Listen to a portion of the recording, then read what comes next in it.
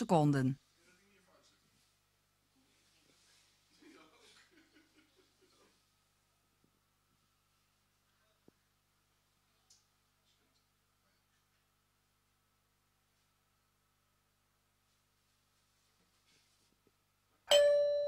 Deelnemers, start De vrij. Lillehammers, een sponsor zonder belang, gewoon omdat het kan.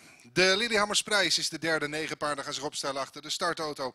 En de favoriet 1,90 euro is paard nummer 5 Flavius Boko. Tom Kooijman op jacht naar een quick double, zoals dat zo eh, mooi heet.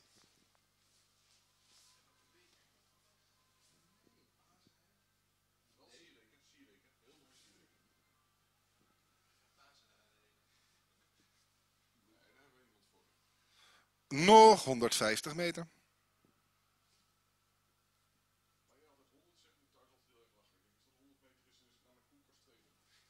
100 meter. 50 meter nog. De start is gevallen, de paarden zijn onderweg en het is een uh, goede start zeg voor Fernando. Die neemt de leiding. Tweede plaats aan de buitenkant Fleur Zwageman en daarachter meldt zich de favoriet Flavius Boko. Alle paarden zijn uh, prima van start gegaan, ook El Nino aan de binnenzijde. En Flavius Boko, de favoriet, maakt de galopade. 1,90 euro favoriet springt daar weg en valt terug naar de laatste geleden. Uitgeschakeld paard nummer 5. 5 galop. En dat betekent dat we hier uh, normaal gesproken te maken gaan krijgen met een verrassing. Maar Niels Jongejans heeft toch wel grote plannen. Ik denk dat hij wil bewijzen dat hij het sterkste paard in dit veld heeft. En dan gaat er een aanvallende uh, race van maken met zijn paard nummer 6, Fort Newport. Fort Newport komt aan de buitenzijde zo dadelijk tot schuin naast uh, Fernando. En we zien nu ook een galopade voor El Nino. Die ligt vierde, maar valt daardoor nu een stuk terug. Uitgeschakeld paard nummer 1. 1 galop. Paarden komen op weg naar de rechte lijn voor de tribune met straks nog twee rondes te gaan. En sterk gehouden, terwijl uh, nu ook een korte fout was van paard nummer 8. Heel sterk gehouden Fernando. Tweede plaats erachter dan het nummer 4 van uh, Fleur Zwageman. En het derde paard buitenom, maar dat was de laatste keer ook Fort Newport. Achter Fort Newport aan de buitenzijde Coolcraft met Johan Kloppenburg. Die gaat door naar plaats 4. En daarachter is er dan Fleur Europort voor Flying Uitgeschakeld paard nummer 9. 9 paard galop. 6 Fort Newport van de benen.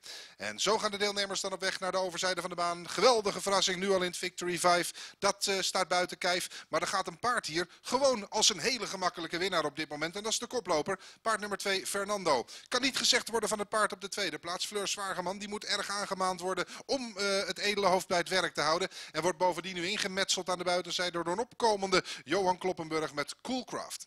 Paarden komen op weg naar de rechte lijn voor de tribune. Straks nog een ronde. En op de vierde plaats sluit ook Fleur Europort aan. Brian Vader, die uh, zojuist dus zijn dochter heeft zien winnen. Eens kijken of hij uh, zelf ook wat in de melk te brokkelen heeft. We gaan af op de laatste ronde. En Johan Kloppenburg die zet nu met zijn uh, nummer 7 Coolcraft de koploper onder zware druk. Daarachter, de koploper pareert trouwens, probeert uh, Fleur Zwageman nog een keer naar de tweetal toe te lopen. En die wordt op anderhalve lengte gevolgd door Fleur Europort. En twee lengte daarachter Ron Gooiman met Flying Ultimate.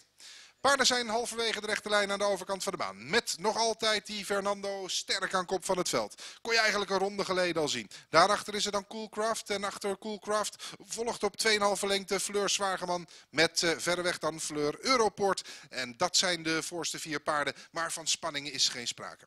We komen in de laatste rechte lijn. En het is uh, Caroline Albers die hier uh, de Lillehammersprijs op de naam gaat schrijven. Of er moeten hele rare dingen gebeuren. Met haar nummer 2 Fernando. Na lange afwezigheid. Maar het heeft hem goed gedaan. Fernando wint het hier heel gemakkelijk van start tot finish. Tweede wordt Coolcraft en op de derde plaats Fleur Zwageman. De twee wint voor de zeven en derde wordt de vijf.